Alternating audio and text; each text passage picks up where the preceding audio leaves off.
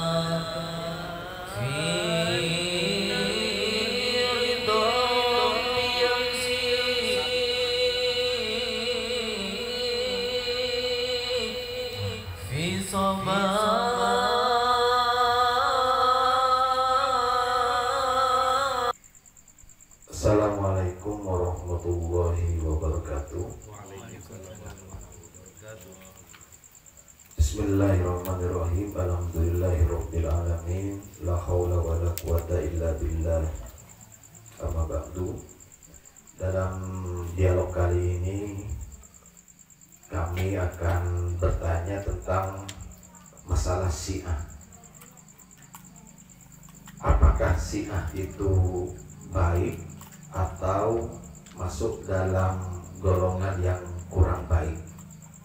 Dan sebagai umat yang berkemudian bagaimana kita menyikapi tentang Syiah ini? Jadi kami mohon penjelasan yang jelas, rinci dan runtut dari Syekhona Lukman Haris bin Abdurrahman. Kepada beliau kami persilahkan Assalamualaikum warahmatullahi wabarakatuh. Assalamualaikum warahmatullahi wabarakatuh. Bismillahirrahmanirrahim. Alhamdulillahi rabbil alamin. Wabihi nasta'anu ala umuri dunya waddin Allahumma inna nas'aluka bismillahil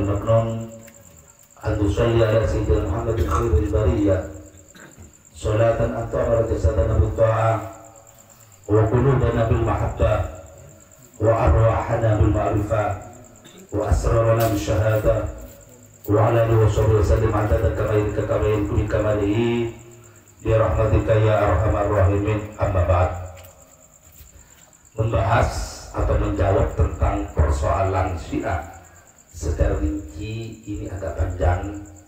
Akan tetapi Al-Fakir akan mulai daripada sejarah timbulnya atau berdirinya Syiah.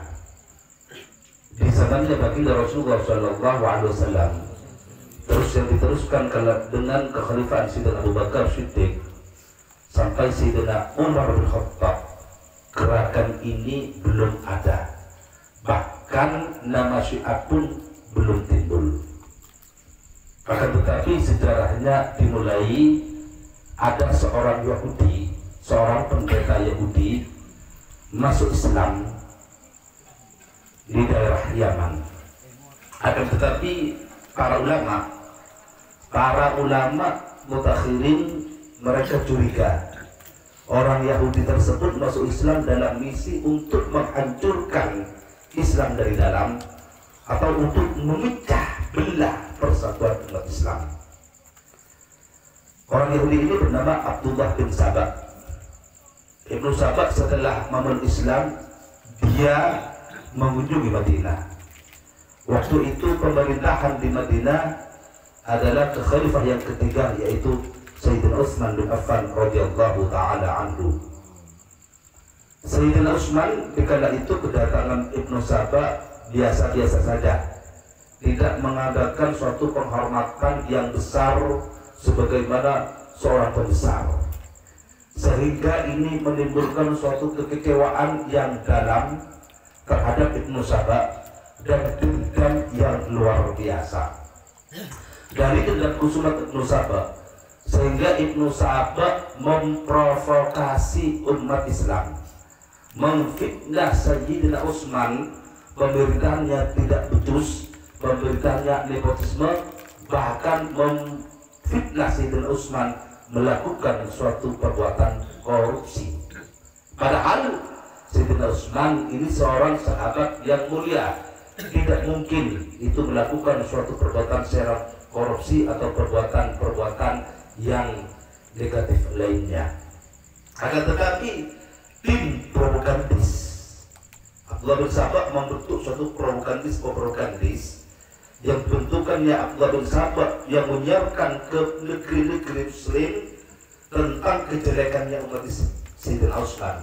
Dikirimkannya, dikirimkanlah propagandis ke Mesir, ke Syria, eh, ke Baghdad, termasuk ke daerah-daerah Muslim lainnya sehingga waktu kala itu santer Sayyidina Utsman adalah suatu pemimpin yang nepotisme dan berbuat korup sehingga timbullah suatu ketidakpuasan dari masyarakat umat Islam yang waktu itu terprovokasi dengan tim propagandisnya Sahabat sehingga melakukan suatu demonstrasi besar-besaran Suatu saat demonstrasi berkumpul di Madinah di sekitar Sayyidina Utsman bin Affan radhiyallahu taala anhu. Ini para ahli tarikh ini mencatat lebih dari seribu demonstran, sepuluh, sepuluh ribu demonstran. Sehingga waktu itu Sayyidina Ali radhiyallahu memutus kedua putranya Imam Hasan dan Hussein untuk menjaga di depan pintunya Sayyidina Utsman agar para demonstran tidak masuk atau tidak masuk kepada rumah Sayyidina Utsman. Akan tetapi ada komplotannya, bikinan yang sudah disetting oleh Ibnu Sabah, ini masuk dari belakang. Ini langsung membunuh Sayyidina Utsman membantai Sayyidina Utsman, memenggal kepalanya, sehingga juga pun istri Zaujah Sayyidina Utsman, Nailah waktu itu terputus tangannya karena ingin menolong suaminya Sayyidina Utsman. Dari peristiwa itu, kemudian kelompok Ibnu Sabah dan sebagian orang yang ikut demonstrasi yang beribu-ribu orang kemudian pergi ke rumahnya Imam Ali kalau dan memaksa Imam Ali untuk menerima bayat diangkat menjadi khalifah yang keempat. Karena Imam Ali sudah terpaksa dan dipaksa untuk menduduki dan waktu itu dipaksa untuk menduduki menerima bayat khalifah, maka Imam Ali menerima bayat khalifah dari penduduk yang sudah puluhan ribu orang. Lah komplotan Ibnu Sabat juga pun menebak fitnah bahwa yang berhak memberi kekhalifahan adalah Imam Ali. Juga pun ada kelompok dari Ibnu Sabat berbuat fitnah. Waktu itu gubernur Syam Gubernur Syam itu di zaman Sayyidina Utsman mulai dari Sayyidina Umar itu Sayyidina Muawiyah bin Abi Sufyan. Sehingga juga pun termakan dengan suatu fitnah sehingga dia menyangka bahwa yang membunuh Sayyidina Utsman komplotannya yang komplotan-komplotan yang membunuh Sayyidina Utsman adalah komplotannya yang mendukung Imam Ali. Sehingga waktu Sayyidina Ali menjalankan roda pemerintahan sudah menjadi khalifah otomatis keluarga besar daripada Bani Umayyah keluarga Sayyidina Utsman marganya Bani Umayyah keluarga besar dari Sayyidina Utsman, keluarga-keluarganya, famili-familinya berkumpul di bawah pimpinan Sayyidina Muawiyah memprotes dan menyatakan tidak sah kepemimpinannya Imam Ali. Sehingga Sayyidina Muawiyah juga pun memproklamirkan dirinya sebagai khalifah bagi umat Islam. Waktu itu terjadi sudah persengketaan antara umat Islam, antara Sayyidina Ali dan Sayyidina Muawiyah sehingga terjadi apa? Buntut daripada kejadian tersebut. Para sahabat beda pendapat. Sehingga Imam Sayyidina sahabat, sahabat Talha, Imam Zubir dan Siti Aisyah waktu itu juga pun termakan asukan sehingga menuntut bela darah Sayyidina Utsman. Sehingga terjadi perang Jamal yang tidak diinginkan juga pun antara Sayyidina Muawiyah dan Sayyidina Ali terjadi perang yang tidak diinginkan yang melibatkan para sahabat yaitu perang Siffin. Bagaimana sikap ahlu sunnah wal jamaah, sikap kita terhadap perang Siffin dan perang Jamal? Secara bijak, Imam Ibn Ruslan dalam kitab Zubatnya ini menulis itu syair wa ma jarah baina syihabi nasbutu fa inna lahum ajrun nusdatu apa yang terjadi di antara sahabat? Kita wajib diam. Jangan kita banyak membahasnya oleh karena itu kami tidak akan membahas secara detail tentang kejadian ini. Tentang apa yang terjadi di antara para sahabat. Cuma ini sekilas sejarah berdirinya syiah. Fa'inna lahum ajrun nasbatu karena sesungguhnya pahala pahala ijtihad tetap ditetapkan kepada para sahabat jadi Sayyidina Muawiyah itu melakukan ijtihad benar mendapatkan pahala dua pun kalaupun salah mendapatkan pahala satu. Juga pun Sayyidah Aisyah Sayyidina Tulham Sayyidina Zubair dan para sahabat yang lain melakukan suatu ijtihad. Juga pun Imam Ali melakukan ijtihad.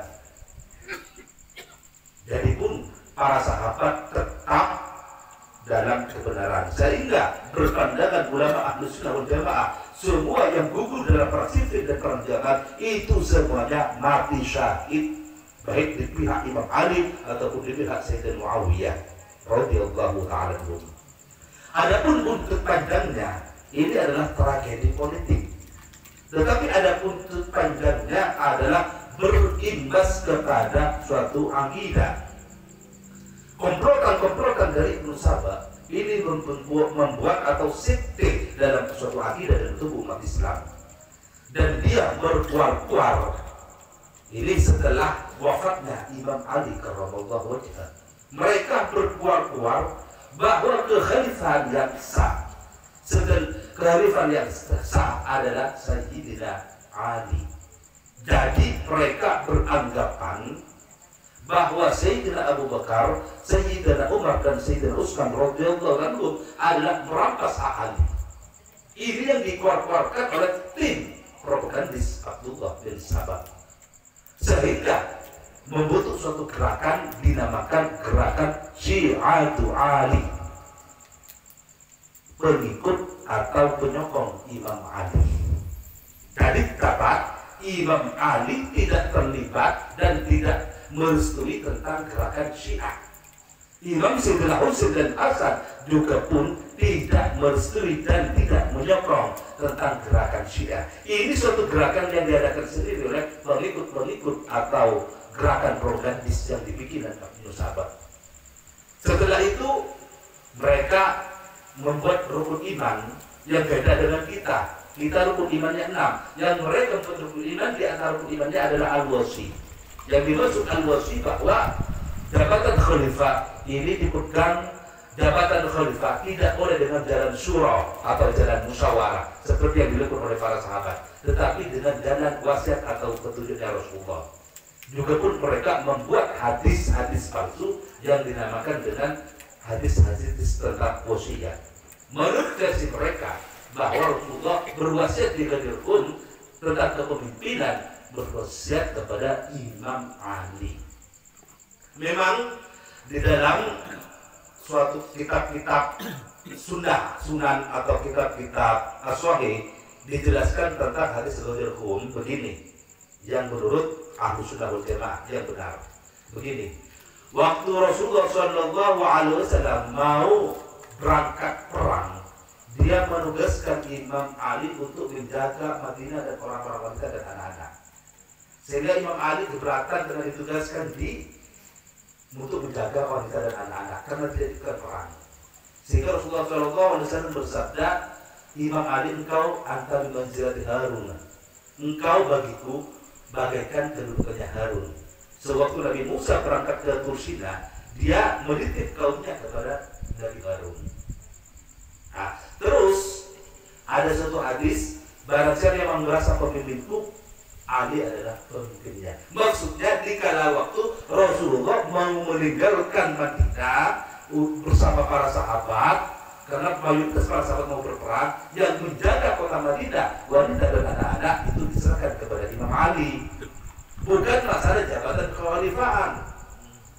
Jadi ini adalah tafsir yang salah daripada golongan Syiah.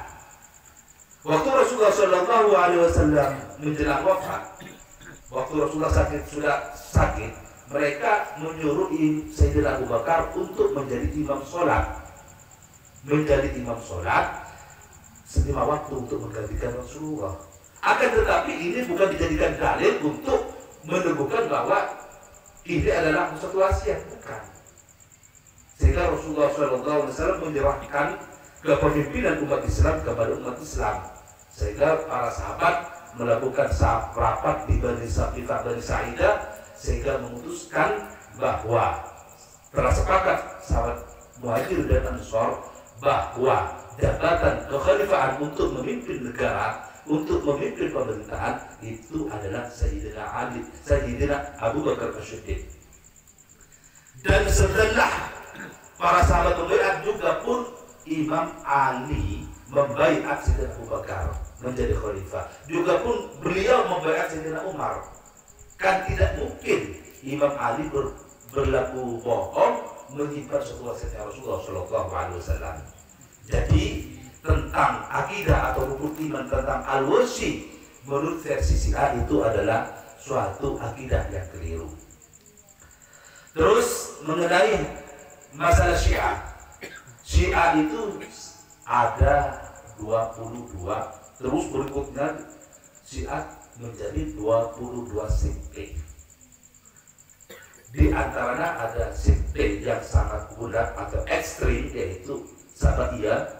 Pimpinan ketua bin sahabat sendiri yang menyatakan bahwa Jibril itu salah menyampaikan wahyu wahyu yang biasanya disampaikan kepada Imam Ali ternyata disampaikan kepada Rasulullah Shallallahu Alaihi Wasallam. Ini yang bulat dan di dalam tubuh Ali itu bersemayam ketuhanan. Sehingga Ibnu Sabak suatu saat bertemu dengan Imam Ali. Sehingga dia mengatakan anta anta. Maksudnya engkau adalah Tuhanku.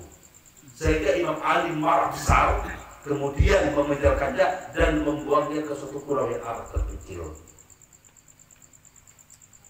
juga pun ada si Ah Kaisaria si Ah Kaisaria ini menafsirkan Quran seenaknya sendiri juga pun menakwilkan apa-apa yang di Al-Quran saya nanya sendiri. Juga pun ada Syiah Ismailiyah. Syiah Ismailiyah ini menyatakan bahwa sholat cukup hanya di hati saja. Ibadah haji cukup di hati, cukup ke Karbala kepada makamnya Sayyidina Husain radhiyallahu taala. Ini adalah Syiah Ismailiyah dan tiga bakal kebatinan ini berangkat daripada Syiah Ismailiyah juga pun ada yang sangat besar dan eksis sampai sekarang yaitu adalah Syiah Imamiyah dan Syiah Imamiyah sekarang punya negara yaitu negara Republik Rakyat Iran.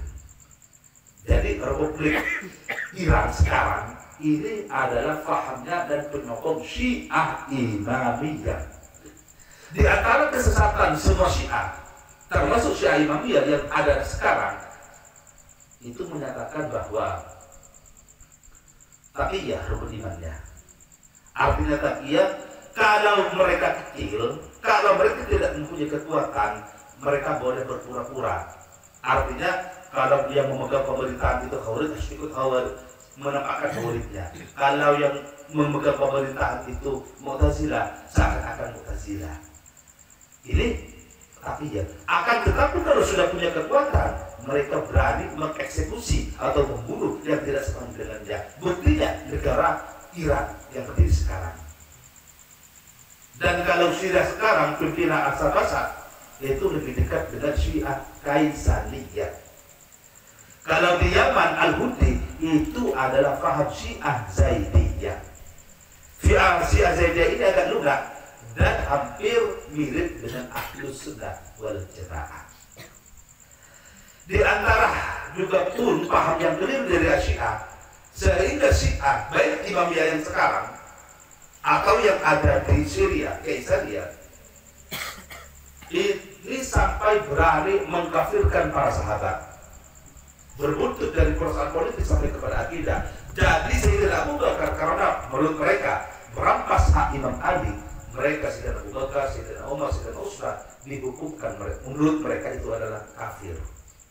Juga pun karena Sayyidina Aisyah, Sayyidina Talha bin Ubaidillah, Sayyidina Zubair bin Awam termasuk 10 sahabat besar yang dijamin masuk surga oleh mereka dikafirkan.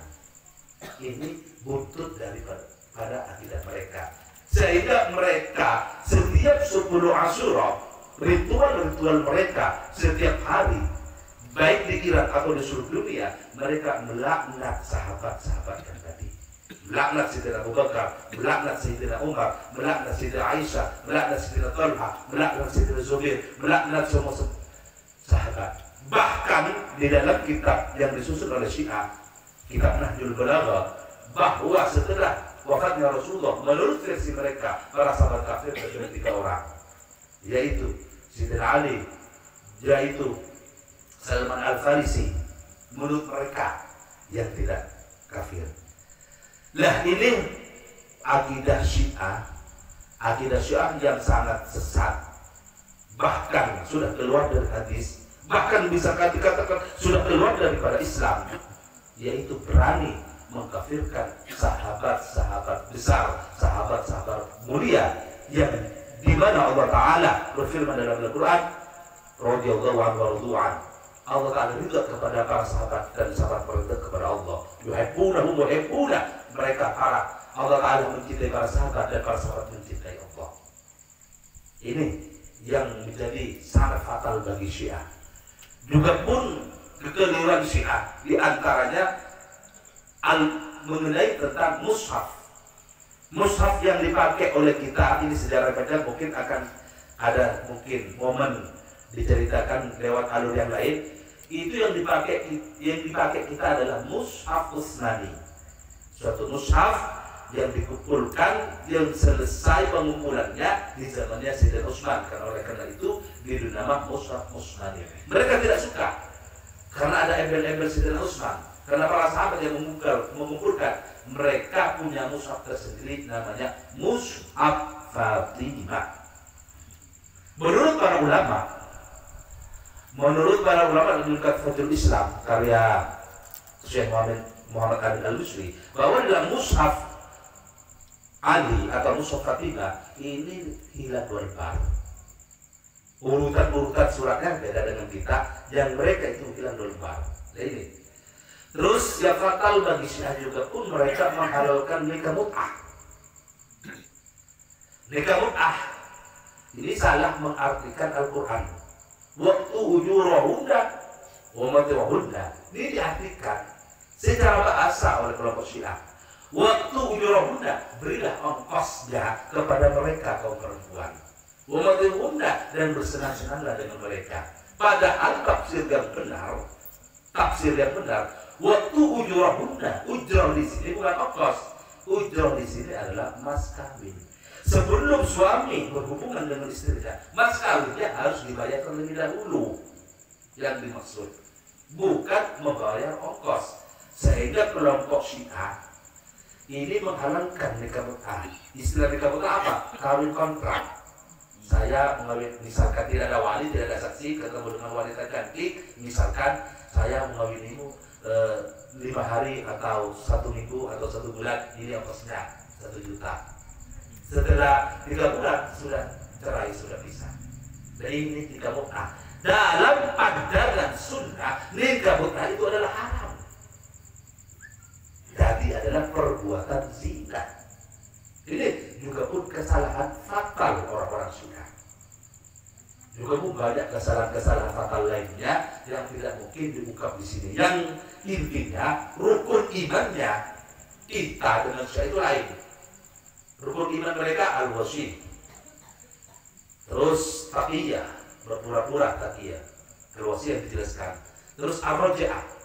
Dia berkeyakinan bahwa kalau Sayyidina Isa akan turun ke bumi di akhir zaman, maka Sayyidina Ali, Imam Hasan dan Husain lebih berhak hidup kembali dan turun ke muka bumi. Atau Rasulullah SAW akan kembali ke muka bumi dari sana untuk me- meratakan satu keadilan. Ini namanya namanya akidah atau rukun iman ar-rojaah. Ini adalah rukun imannya orang-orang Syiah. Jadi setelah tragedi tersebut di abad ke-1 Hijriah sudah umat Islam terpecah-pecah. Jadi kelompok Syiah selalu mengadakan suatu gerakan di bawah tanah bagaimana untuk memecah umat Islam. Bagaimana mereka untuk membuat suatu pemerintahan tersendiri. Sehingga di abad pertengahan Hijriah mereka bisa membentuk suatu pemerintahan di daerah Persia. Setelah pemerintahan tersebut sekarang menjadi Republik Iran. Jadi Iran yang sekarang itu adalah suatu negara yang menyokong faham Syiah Imamiyah. Adapun di zaman Uti, pemerintah Uti itu adalah Syiah.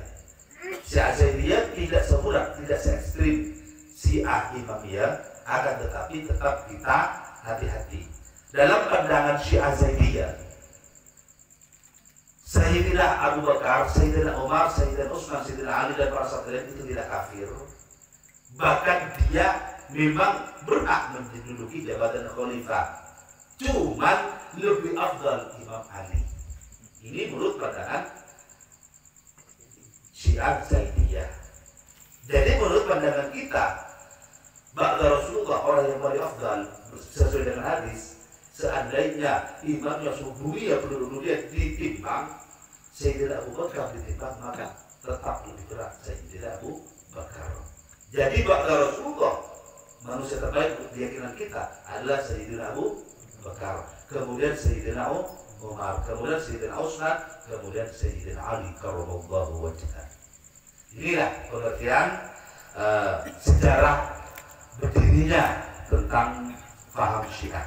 Dan sehingga dari gerakan Abdullah bin Sabah pecahkan umat Islam apa yang disebut Rasulullah dua Syiah menjadi 22 kemudian muncul Khawarij 5 golongan Mu'tazilah 20 kemudian muncul gerakan uh, Qadiriyah dan Jabariyah itu 20 sehingga tercatat kesemuanya menjadi 72 firqah.